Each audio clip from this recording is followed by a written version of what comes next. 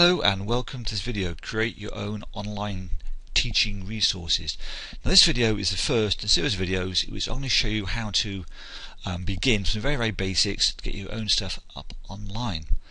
Now you may ask the question, why create your own online resources? Well, the world is changing. Let's think now about how it used to be. this is, I sound old, don't I?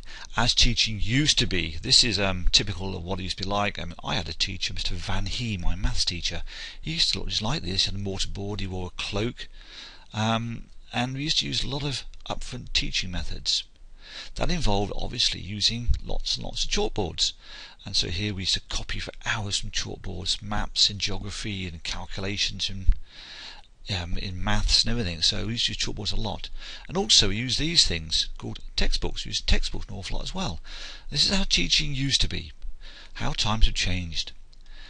We now have a younger people called internet generation. All they've known is the internet and computing. It's always been there for them so mobile phones. So communication is far, far more important these days than perhaps it used to be. We have mobile devices, and these mobile devices enable us very, very easily to type in a question, for example, to Google and come up with the answer straight away. So our access to knowledge is almost instantaneous.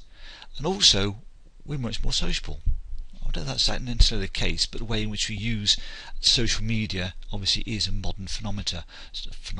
Phenomena. We've got Facebook here and Twitter. So, more important than ever to really engage with the online generation by developing our own online resources. And the resources I'm particularly interested in, as you probably guessed, video. But why actually go for video? Well, a number of reasons. First of all, recent figures have shown that 91% of traffic will be video by 2014. What else? Well, 3 billion views every day, 800 million unique users visit YouTube each and every month. What else? Well, users upload the equivalent of 240,000 full length films every week. YouTube's demographic is 18 to 54 year olds.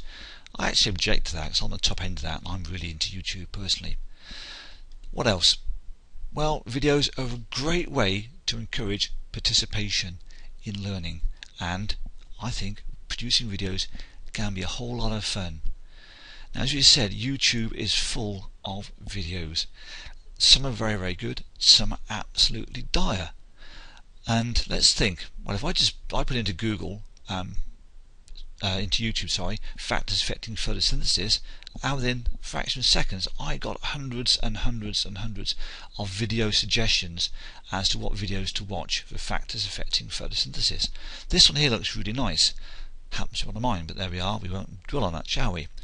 Right, so I'm going to show you how to make a video. Similar to this one here, how to produce it, how to get it up on YouTube as the finished product. So what different sorts of videos are there?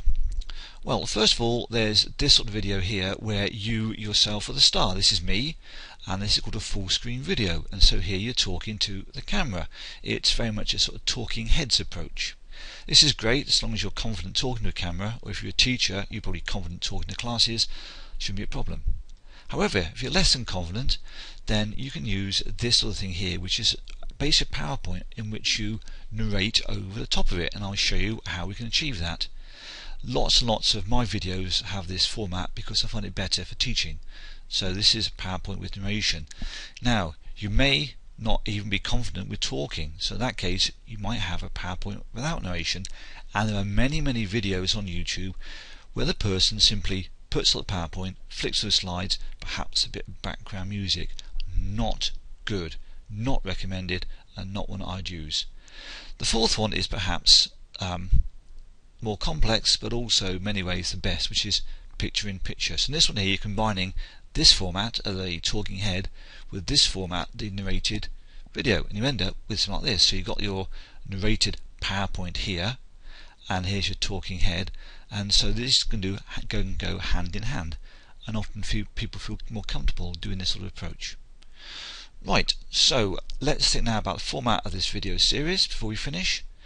In the next video I'm going to show you what tools you have to have for the job in hand, i.e. producing a video. In the next video after that we're looking at how we can actually plan our presentation. Then we'll go on to look at how we can record our presentation. And finally, the best bit, producing and uploading our presentation. So that's the format of this series of videos. I hope you're going to stick with me and go through these and promise you by the end of these you will have proficiency in getting your own material up online. So thank you for listening, thank you for watching and we'll be back again very soon so bye bye for now.